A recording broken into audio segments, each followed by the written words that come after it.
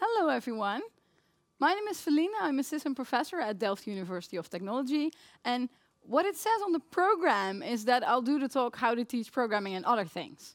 But that is fake news. I have changed my mind and therefore have declared the program to be erroneous, wrong. This is not the talk I'm going to give. I am going to give a new talk because I did this talk already twice last week. So I was like, I'm not sure I can bring the right energy to do that talk again. So I compiled a new talk today. If you really, really were looking forward to how to teach programming and other things, we can just skip right to the end, the end, and you can leave. It's okay. You can leave. You can go to my website, and there's a video of this talk online. So if you really want to see it, this is your chance to just leave, take, take your laptop, and look at the talk I was going to give. No takers? Okay, fair enough. So what I am going to talk about today is this thing that I call code phonology, which means how do people speak code? How do they hear code? How does source code sound if you read it aloud? But before I'm going to talk about that, I am going to give you a little bit of a backstory into how I got into this research topic. And just to confuse people that have seen my other talks, the first few minutes of this talk will actually be the same as the first part of how to teach programming and other things. But don't worry, after a few minutes, it will diverge. So, to keep you awake, I have some audience participation. Who knows who said this? Everyone should learn how to program. Who said this? Every programmer ever. Are You're someone who's seen my talk. So every programmer ever, we all love programming. So many people say, oh, programming is the best. Everyone should learn how to program. We all say this. However, it leads to an interesting question because if we apparently believe that everyone should program, what is programming? What do we mean if we say everyone should learn programming? What is the skill level? What is the programming language? What, what, do we, what, do we even teach them? And you might think that what is programming is a super easy question, but it's actually a pretty hard question. If you ask 10 people what is programming, probably you'll get 10 different answers. And if we would ask people what programming is, we would probably ask people like us, like other programmers. And we programmers, we might not be the best people to answer this question. And that's maybe best explained by the story about three fish in the sea. They're swimming, maybe you, you know the story. And the big fish says, Hey, fox, how's the water? So he asks the two small fishies, How's the water? And the two small fish, they say, What's water? Fish don't know what water is because the only thing they've ever been in is water. So for them, water is synonymous with everything, with the world, with the universe. And we programmers, we're a little bit like that. The only water we know is programming. Most people program not only as their profession, but also as a hobby. Lots of people have friends that are also programmers. So we're in this water of programming all the time. And maybe that makes us not the best people to decide what programming is and also what isn't programming. Because if we say this is programming, that also means some other things aren't programming. And to really understand my perspective on what is and what isn't programming, let me take you back to the year 2008 when I started my PhD project. So I moved from Eindhoven, this is in the tiny country of the Netherlands, to Delft. It's a really small move. It's like 100 kilometers, but for someone from a tiny country, that's a big move. So I went to TU Delft, the university where I still work today, and I started a PhD project. And the research question for this PhD project, the research question that my supervisor had in mind was, was let's research a DSL, a domain-specific language for finance. So what we envisioned was a programming language, a little bit like COBOL, in which end user programmers, normal people, could express their business rules, and therefore they would rely less on programmers to make software, but they could make their own software, which is nice. So the first thing I did in my PhD project is I did an internship at a Dutch insurance company to figure out what are people doing in finance? What would be the keywords and the things that would need to go in such a domain-specific language? And what they learned me in university, I'm not sure if this is still true, if they still teach this to kids in university, but I just had my master's degree, and they sort of said, this is how the world looks like. You have users, and then there's a wall, and then there are programmers. They are different species. They sometimes communicate a little bit, but these type of people have nothing to do with each other. And the programmers program and the users use. That's it. That's how the world looks like. At least this is my 20 year old naive view. This is how things go. People need stuff and the programmers make it. This illusion was quickly shattered when I started this internship at this insurance company because it turned out everyone was programming. The programmers were programming, and also the normal people were programming. However, it wasn't that they were programming in a traditional textual language as me and my supervisor envisioned. No, they were programming in spreadsheets. Those normal people, they could program. They didn't really need the programmers at all. They were pretty well equipped with spreadsheets that they used for financial modeling and risk assessments. They were, they were doing fine, really. So I went back to my supervisor. I said, friend, they don't need a DSL in finance. They have a DSL in finance. It's called Excel. It's a pretty good thing. We're never going to be able, in a four year PhD project or however long we work on this, to be able to come up with something that is going to outperform spreadsheets for what those people need. So the motto of my PhD dissertation be became spreadsheets are code. And they're not just code. Spreadsheets are really, and I say this without any irony, spreadsheets are the best programming language that has ever existed in the history of programming. Spreadsheets are such a good programming language, people don't know that they're programming. I mean, imagine doing Java by accident. uh, imagine this conversation. Hey, Frank, what are you doing? Well, I opened up Eclipse, it was installed on my laptop, and it was so intuitive. I just jumped right into it, and now I built this risk assessment model. No one ever. But it's funny how weird that sounds, but for spreadsheets, it's totally true. They are so intuitive that people just open it up and figure out what to do. They know what to do, and they, they can teach it to themselves and be pretty proficient. So it's, it's really an amazing programming language. It's not just a programming language, it has all the buzzwords. So maybe you never thought of it like this, but spreadsheets are functional programming. A formula in a spreadsheet can only take input from other cells in the spreadsheet and calculate the results based on that. So it, it, a formula in a cell cannot change other cells. So it's pure, pure functional programming. It's side effect free. It's not just functional, it's also reactive. If you update a cell in a spreadsheet, only the part of the spreadsheet is recalculated that depends on this cell. So spreadsheets are reactive, pure functional programming, and yet 750 million people can use it. Eat that, Haskell. So, spreadsheets are code. This is my story. It was a summary of my, my thesis, and I went to all these conferences around the world to talk about that. And it also gave me my thesis, my dissertation. So, that was a happy story. I did all this research on spreadsheets, and I graduated. Hooray! However, that's only part of the story. In a previous version I did of this talk, someone said that this talk was just Felienne doing therapy with an audience true. It's true. So this part about all the research I did, it's definitely true, but it's only the part of the story of the brain, and there's also the part of the story of the heart.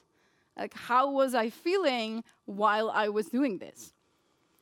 So I went to all these conferences just like this, where I like speaking. and I was like, oh, hello, hello, people. Spreadsheets are code. Have you heard? Spreadsheets are code. It's like, cool. And people be like, yeah, it's not real programming. I'm like, wait, wait, wait, wait, wait, wait. Hold on a second but it's functional and it's reactive and everyone can use it and it's not real programming. And this, you know, it went on and on.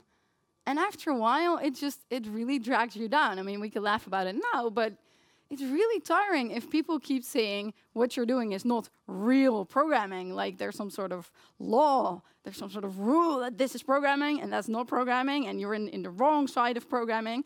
And I don't know if there are people that did a PhD in the audience, but especially for your thesis work, the topic and you sort of merge into one thing. And if people don't think your topic is very serious, it's really, really hurtful. And you know, I broke my heart after a while. I just, I really didn't want to work on it anymore. I didn't want to talk about it anymore. It's like, pfft, I give up.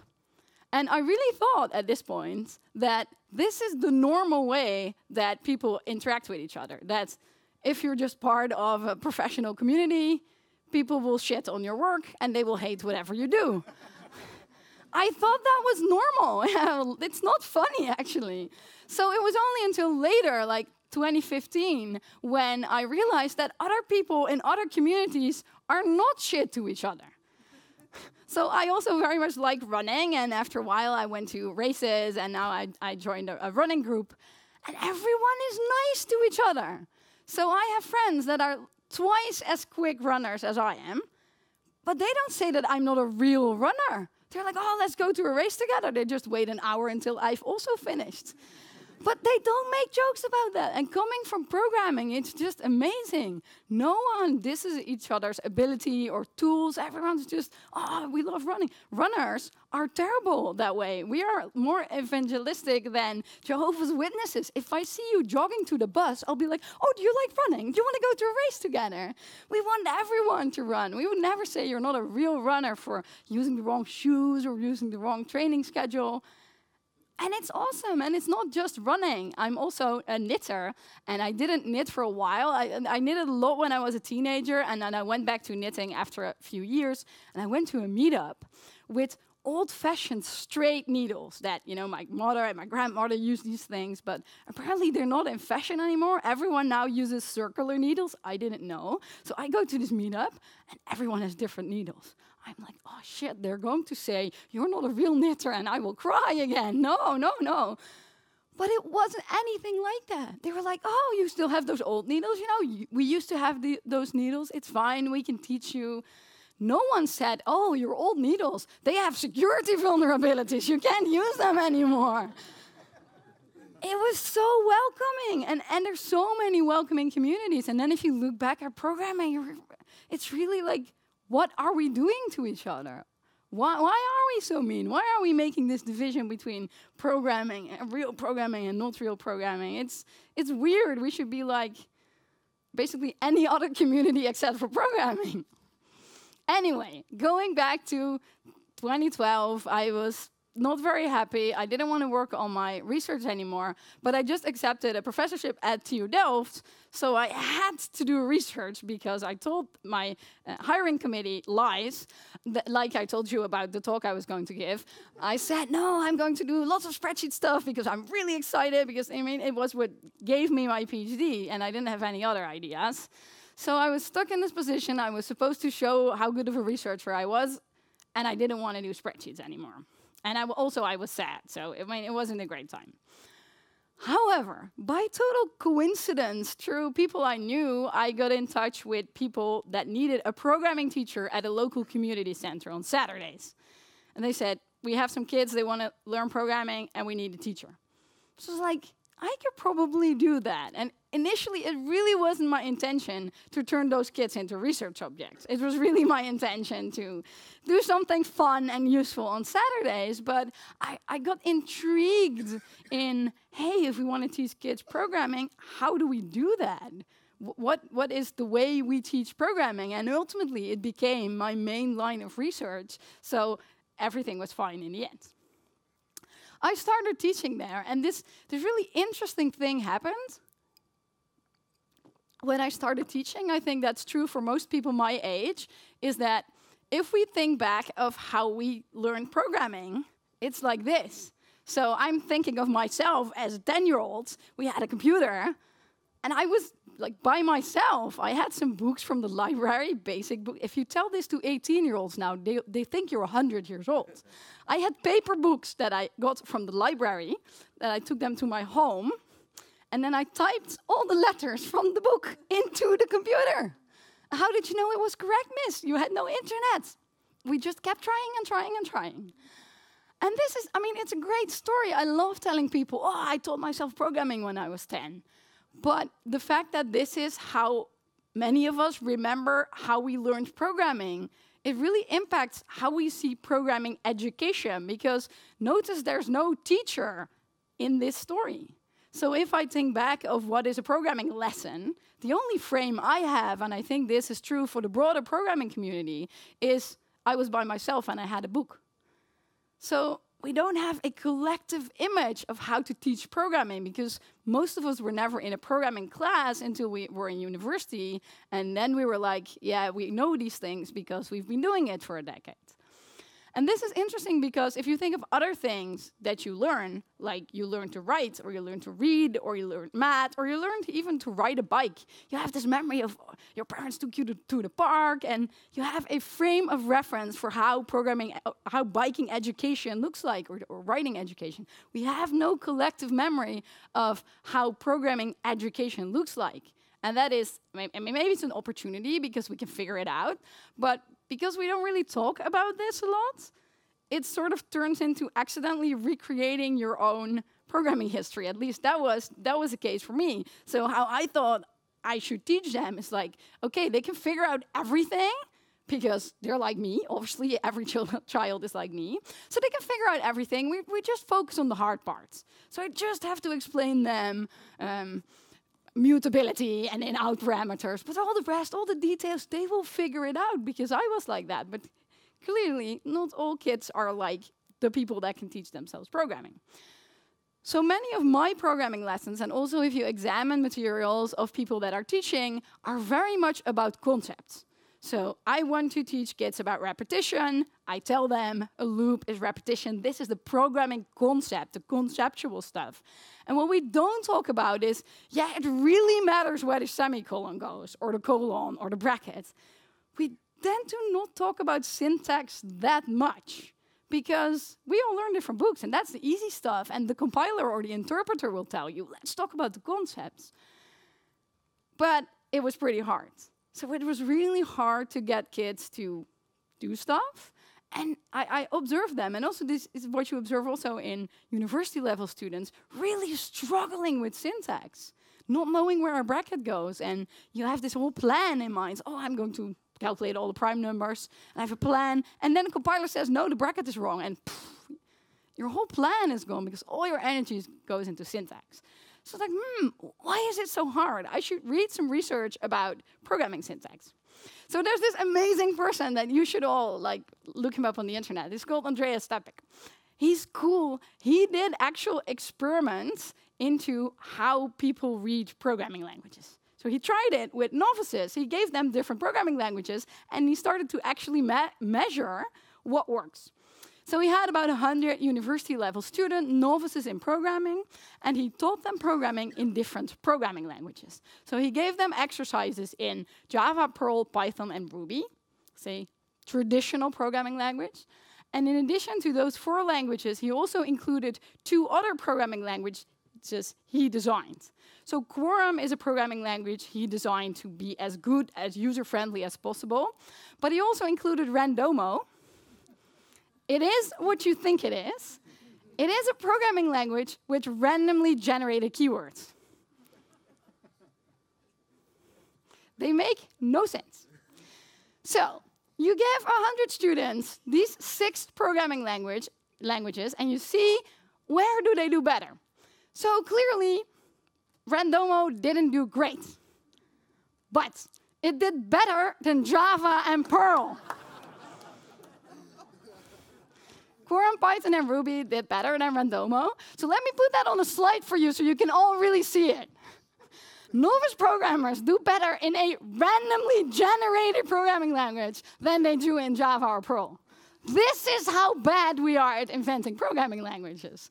I mean, unlike with the real program, it's funny, but it's also very sad. This is where we are as an industry. And this, this work is not from the 80s. This work is from 2012 when for the first time someone, this amazing person, thought, hey, maybe it's a super good idea if we actually check what people get from our programming languages. That, that's where we are. So lots of work to do. That's, that's the good news. The story here is that syntax is not intuitive. It's not this thing that people can just pick up and then they will quickly be able to do conceptual stuff as I said, it's true for many of the people that are here now, but that doesn't mean it's good. we have all been Stockholm syndromed by how bad our programming languages are. It's not that they're in intuitive. We've just learned how to work with it because there was no YouTube when I was 10 year old, so I had this basic book to entertain me. It's not because it's, it's intuitive and good. So we can't assume that kids will, or, or even adults will just pick it up because it makes so much sense. It makes very little sense. So this is the part of the what. I was interested, okay, I should somehow sp spend effort on teaching kids syntax. That's what I need to do. But I didn't really knew how to do it. How do you practice syntax in a good way? How do I get them to remember where, where does the semicolon go? Where does a bracket go? How do I do that? How? How was the, the question. And then I, I met this other amazing person. This is because I hang out at conferences all the time where lots of amazing people hang out. So, another amazing person, Alexandra West, she was actually together with uh, her partner that is a software developer. So, she came to the conference as a plus one. So, she's not just an amazing person, she's an amazing person with an art degree. And we were at this conference in Paris together, sitting outside in a sunny, sunny night in Paris. And we started talking about what what is art like? It's like, oh, tell me about your art degree and what do you do? And of course, I frame everything because I'm a I'm a in the water of programming, everything in terms of programming. So we started to talking about what would happen if we would view source code as artworks. If we would do review of a code review like art criticism. I mean, you hang it on the wall, you look at it. I mean, th there were really interesting perspectives in this part of the story, where you would just print out your source code and you would you would just look at it for a while, and you just this this is apparently how people review art or crit criticize art. You look at it, oh, you do something else. You, you go back. You let it sink in a bit. You ask yourself, what does this make me remember? And we started thinking, how, how, why don't we do that for code? Just look at it for a bit, do something else. How does this make me feel? It's interesting. So that in itself, I mean, that could be a whole other talk. But I also started thinking, what would happen if we would create code as we would create artworks? I mean, code is an amazing tool, but the only thing we do with source code now is we use it to represent things that are already in the world. But Um, very much like a realistic painting, but we could have other forms of. I mean, notice the wine going from the glasses. It was a really interesting conversation. So, like, yeah, but you could have cubic code and brutalist code and Rococo code. We could encode all these styles in code. How would that look like if you have the same algorithm, but the one is pointillism and the other one is surrealism? What does it even mean? Yay, more wine. Anyway, I managed to get this accepted as a workshop at the Booster Conference, which is a, a, very, very nice conference because I send in random proposals and they're like, that sounds fun. It was five lines of the garbage I was just saying after the wine. Oh, code, art. And they were like, yeah, let's do it. So like, oh shit, now I have to do it. So I did the workshop and it was really very fun. So the people that participated in the workshop, they said, oh, this was really fun because I just asked them these questions like, write a cubistic quicksort. They have fun, but I wasn't really happy because they didn't really create anything. There was lots of discussion, people were doing things, but there wasn't pretty art that I could sell to a museum or anything. And the reason I think that that happened is one of the things we did in the beginning of the workshop. I thought, let's start easy. Let's not go to visual art immediately. Let's start with doing some poems in source code because poetry and code are still relatively similar. So we first do a poem and then we can do the paintings. So the paintings never happened because we totally got stuck on the poems. One of the exercises that you need to do if you want to write a poem for the right meter. Like if you have a limerick, it's always like ton ton ton ton ton ton ton ton ton ton ton ton ton ton ton. So you need to know the number of syllables in a line of code. I thought about this, but I thought, you know, ah, it's pretty easy. These are slides from the actual workshop. So we said, oh, you, for example, this line, def, bubble, sort, a, list, it's six syllables. And I said, well, you know, sometimes maybe it can be confusing because if you have an equal sign, it could be is or equals or becomes, but just pick one. It doesn't really matter what you do there. Big mistake. This oh, just pick one strategy didn't work at all because we worked in groups and the group's like, oh, sure, we'll just take is for assignment. And then the other was like, no, we won't. No, that's ridiculous. It's not an is, it's, a, it's an equal sign. And the other one said, no, no. They come up with new suggestions that weren't even in my slide. No, it's stores. No, it's assigns too. No, it's set too. So the workshop was interesting, as I said, the people were having fun debating how keywords were, were called or how it would sound. They thought that exercise was fun and useful. I'm like, I want to have a painting. But I learned a lot from this because something I thought was trivial, just reading a line of source code aloud, turned into a new line of research. These things sometimes happen. I was like, wow, we have no clue how to pronounce code as a community. We just haven't figured this out. And people have opinions. But we don't know. This is apparently not something we have decided as a community. So I read the entire handbook of reading, which is it's really stretching the definition of a handbook. It has 500 words. I, I, have trouble holding this in two hands, but it's really very interesting. It's, it makes you, again, happy and sad at the same time. Because if you read it, you're like, wow, the reading community has figured out how stuff works. They know everything from every age level. They know, well, if a kid is four, they read like this, they speak like that. If they are six, then this all the stages have names and this happens. I'm like, whoa, we're programming, we know nothing. We don't have any hypotheses or theories about what happens in people's brains when they're reading code. And we could do experiments like Andreas did, which is great for the type of experiment he wanted to do. But if he wanted to do something with, with pronunciation, we lack the theory to even do an experiment. It's like, makes you sad and happy at the same time. There's so much research into reading. You have these distinct phases through which kids go if they're learning to read. So if you have a five or a six or a seven year old ho at home, initially they're only focused on the letter. So they can't really read words or sentences. The only thing they can do is b, u, k, book. And then they can read words in at once. So book in shelf, cat in tree but they're reading and they don't really have a conception yet. It's really funny if you have kids of this age, you, they can read like cat, cat in, in tree. So where is the cat? And they're like, oh, I don't know. They're reading, but all their mental energy is spent on the letters and the words, so they don't have energy left to consider the meaning. Only after a while, we, we adult prov provisional readers, we can just say, oh, book is book. It happens immediately. You don't spend any energy anymore on reading. And reading has really figured all these levels out. And it's not just for kids that sounds really matter.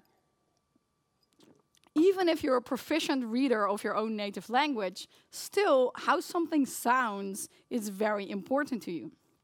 So let's do an experiment because I know it's like six, so everyone's tired. So another audience participation moment we will do reading sentences from the slide. So it's very easy. I'll show you a sentence like this. There is a cat in the tree. And if you've read it, you raise your hand. So you can do it silently. You don't have to do it aloud. If you've read it, you raise your hand.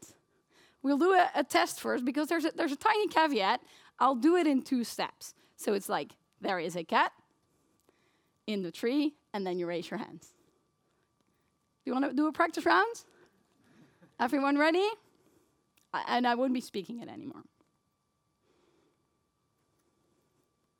Perfect. Here's another one.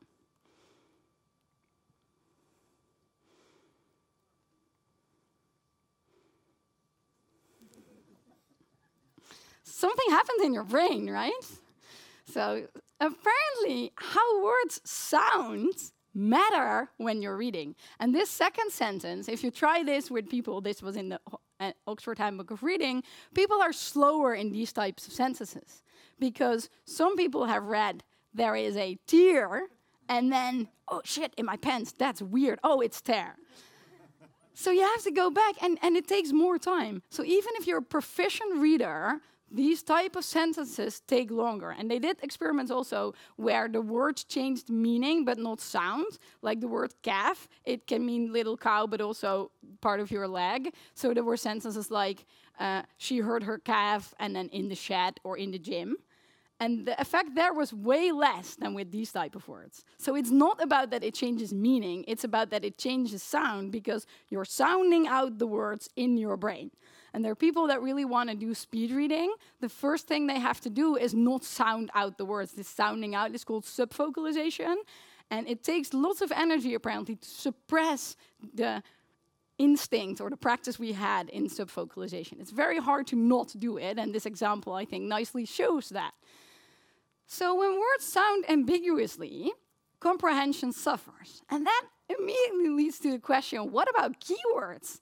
If keywords sound ambiguously, if it's really hard to know how to sound something, does comprehension suffer? It's likely that a programming language is still a language, it's very likely that we, to a certain extent, sound out subvocalized code as well. But because we have no consistent model, maybe we could do it better if you would practice that.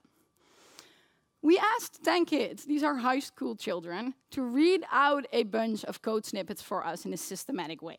So we told them, you have to do your programming homework, but your computer is broken. So you're on the phone with a friend, and they're going to type up your homework. And the friend knows programming, so you can assume that they sort of know what it's about, but they don't know what they have to do. So you have to tell them.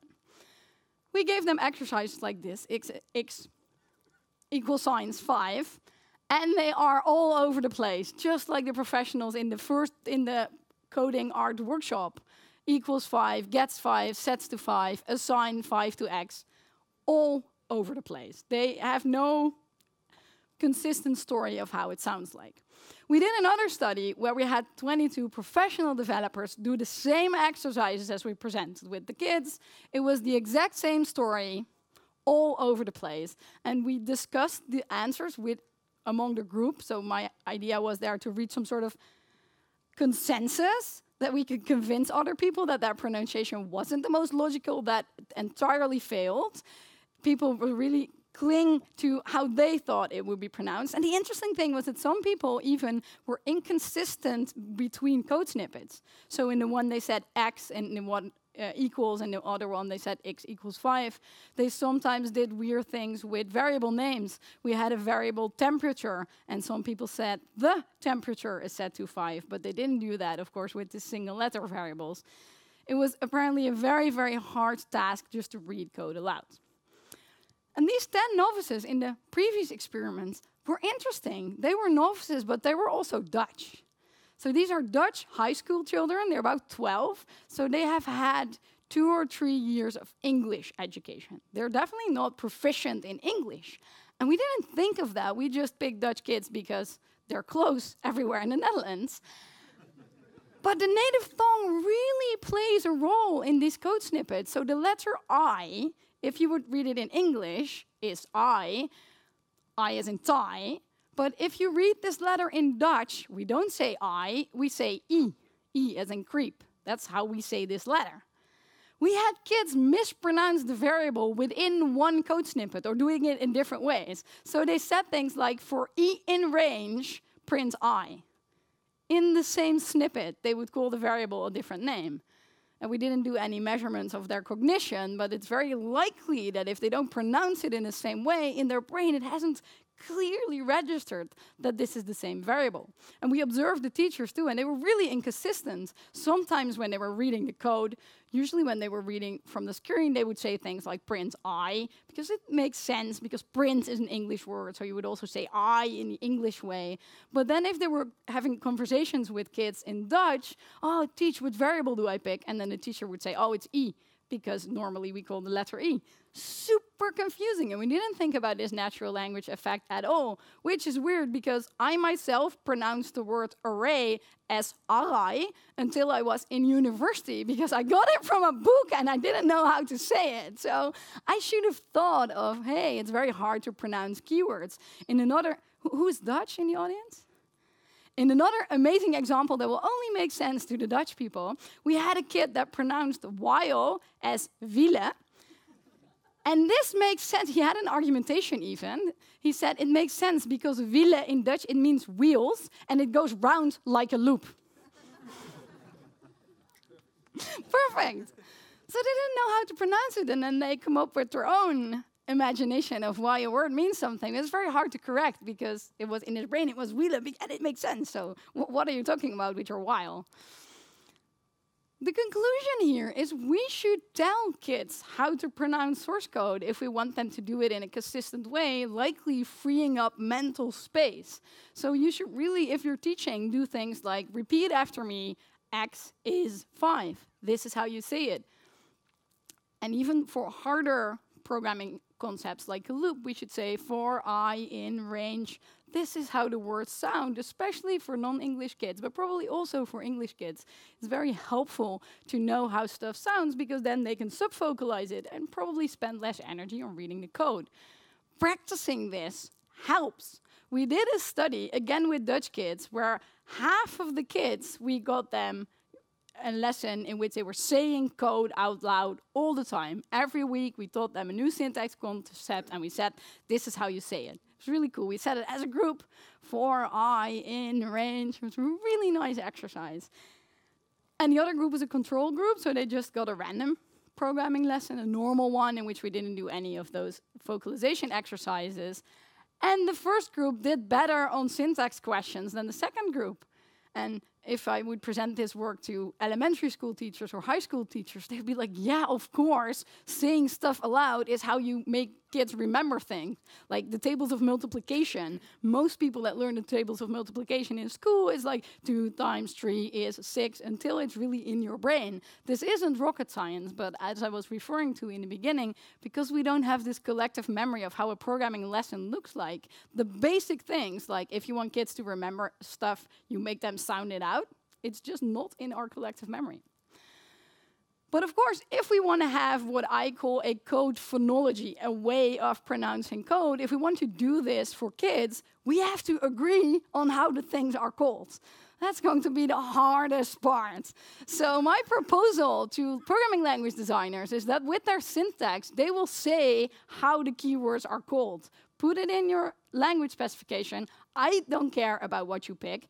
Other people will. I don't. I just want to have an answer for how everything sounds like so we can use it in education. And it's probably going to be very, very hard to get people to this point, but it's really important that this is that there's a system on how to do it. And I think the impact of this is going to be way bigger than just education. As I said, it's going to be really cool for lessons if we if I say in a classroom x gets 5 and I know that the kids are thinking of the right programming concepts. That's going to be super powerful in teaching. But there are lots of other ways in which this is going to help. For example, pair programming. If you've done pair programming, maybe even remote pair programming, you're like, ah, type a bracket. Huh? A bracket? No, I mean a round bracket. This is conversations people have. Apparently, if you're pairing with someone that is not a native programmer in that language and doesn't know where the brackets go in Java. But also, again, this has to do with people that use English as their second language. I don't know how you call all the symbols. You don't know how you call the symbols. Is it a pound? Is it a hashtag? Figure it out, English. We have good words for this. So it's very confusing, and all the energy that's that that we spend on yeah, but what symbol? Oh, a double equal, a single equals, a triple equals is all not going into making programs. So if you just figure this out, it will be super useful.